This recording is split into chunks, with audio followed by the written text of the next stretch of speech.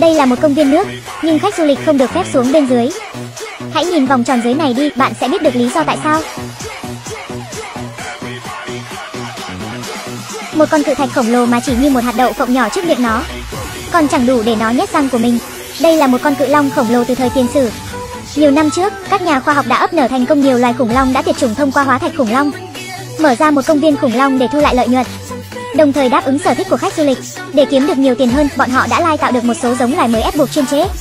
Nhưng thứ mới tạo ra này còn nguy hiểm hơn cả khủng long bạo chúa. Vì lợi ích và an toàn của công viên, Claire quyết định mời Owen đến để huấn luyện khủng long. Owen chính là bậc thầy về huấn luyện khủng long trong thế giới khủng long này. Nhìn xem Raptor bắt đầu di chuyển theo hướng dẫn của Owen. Chỉ dạy mấy đứa làm theo yêu cầu của mình. Làm xong Owen sẽ thưởng đồ ăn cho chúng. Lúc này đột nhiên có chuyện phát sinh, một nhân viên bị rơi vào chuồng thú. Owen nhìn thấy cảnh này nhanh chóng mở lồng rồi lao vào. Anh ngăn nhân viên bảo vệ lại không cho họ bắn. Để cứu người Owen đã đặt cược mạng sống của mình lần này. Anh ra lệnh cho mãnh long đứng yên và kêu bảo vệ đóng cửa lại. Bây giờ anh đang phải đối mặt với Velociraptor.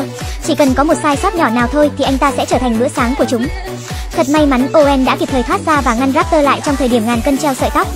Sau đó khi Owen đến khuôn viên của con khủng long giống loài mới để kiểm tra, nhưng anh lại phát hiện dấu móng vuốt trên tường. Anh nghi ngờ rằng tên to con này đã bỏ trốn. Phía bên nhân viên mở thiết bị dò tìm nhiệt cũng không tìm thấy gì. Claire khẩn cấp thông báo cho phòng điều khiển sử dụng vị trí để tìm. Owen và một vài nhân viên khác đang trong công viên tìm hiểu tình hình. Tại thời điểm này, phòng điều khiển dò tìm thấy vị trí của con quái vật. Con quỷ này hoàn toàn không trốn thoát, nó vẫn đang ở trong công viên này, vì vậy họ thông báo ngay cho Owen rời khỏi nơi đó ngay lập tức. Một số người sau nhận được tin tức liền bỏ chạy nhưng vẫn chậm mất một bước. Những người đàn ông này đang chạy điên cuồng thì đột nhiên một con vật khổng lồ chặn đường. Hai người xem xét kỹ hơn, hóa ra nó là một con khủng long bạo chúa. Khi bọn họ quay đầu bỏ chạy thì đã quá muộn rồi. Một nhân viên bảo vệ đã nhanh chóng bị trực tiếp tóm lấy trở thành món khai vị của nó. Vì để giữ lấy cái mạng, một nhân viên bảo vệ khác đã mở cửa bức tường bảo vệ. Owen cũng đã thoát thành công, nhưng ngay khi cổng thành sắp đóng, con khủng long bạo chúa lợi dụng khe hở phá vỡ bức tường. Owen ngay lập tức chui vào gầm xe.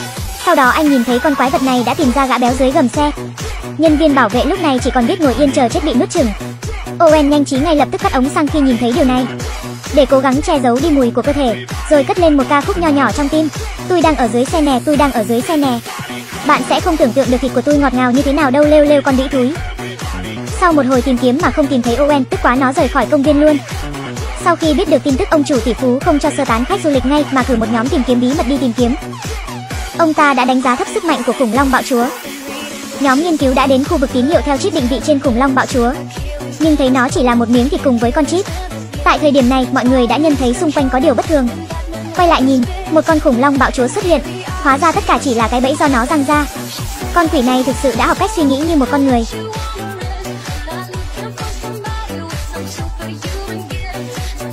Ngay cả khi đội trưởng bị nó dẫm chết, các thành viên còn lại đã thực hiện nhiều cách tấn công khác nhau. Khủng long bạo chúa vẫn không hề hấn gì, chỉ cần nó vẫy đuôi hay cặp một cái là đã dễ dàng giải quyết từng người như chơi.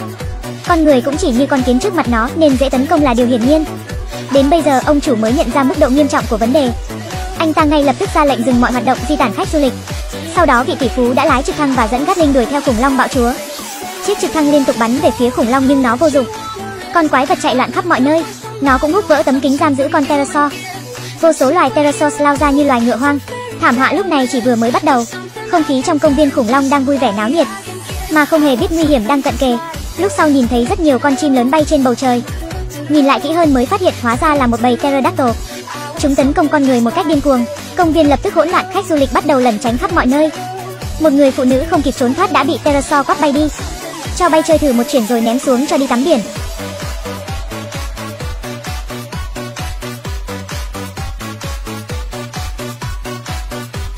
Đột nhiên có một cái miệng lớn từ dưới biển ngoi lên nuốt cả người lẫn chim trong một lần cắn.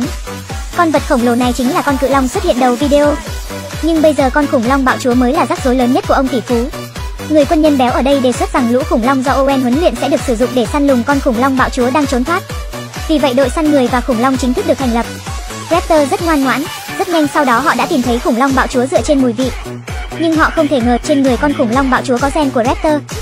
Sau cuộc trò chuyện, khủng long bạo chúa đã xúi dục thành công bốn gã nhỏ này. Mọi người thấy thế, hỏa lực lên nòng.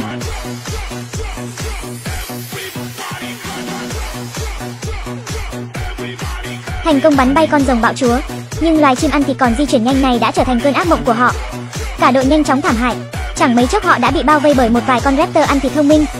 Vào thời khắc quan trọng, Owen bỏ súng xuống và ngập ngừng duỗi tay ra. Mở khóa thiết bị nhìn ban đêm trên đầu khủng long. Rõ ràng con khủng long này đã không quên mất anh ấy, nhờ vậy họ cảm thấy nhẹ nhõm phần nào. Đột nhiên một con bạo chúa khủng long xuất hiện.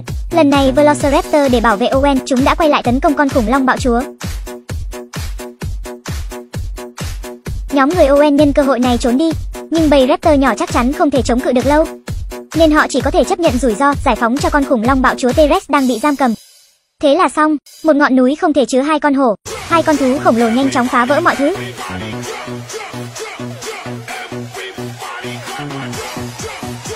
Sau một vài cuộc chiến quyết liệt, quái vật biến đổi gen vẫn mạnh hơn, nó ấn con T-Rex xuống đất. Dường như đang muốn nói rằng nó mới là vua ở chỗ này. Đột nhiên một con raptor xuất hiện, nhảy lên con rồng bạo chúa và bắt đầu cắn. Con T-Rex cũng nhân cơ hội cắn lại cổ khủng long bạo chúa, làm nó tông hỏng mất cái lan can. Sau một vài vòng chiến, khủng long bạo chúa cũng lấy lại được lợi thế. Khi nó chuẩn bị phản công lại thì đột nhiên một cái miệng lớn từ trong nước bay lên, ngọn chặt lấy cổ nó rồi kéo xuống biển. Quái vật vùng vẫy trong vô vọng. Kết thúc cuộc chiến tại đây. Đứng trước ba thế lực khủng long bạo chúa có mạnh cỡ nào cũng phải chào thua thôi. Lại nói đến nếu gặp phải tình huống này trong xã hội thực, đối mặt với một cặp mạnh hơn mình, bạn sẽ chọn cách xử lý như thế nào? Là phản kháng lại hay bỏ người chạy lấy của?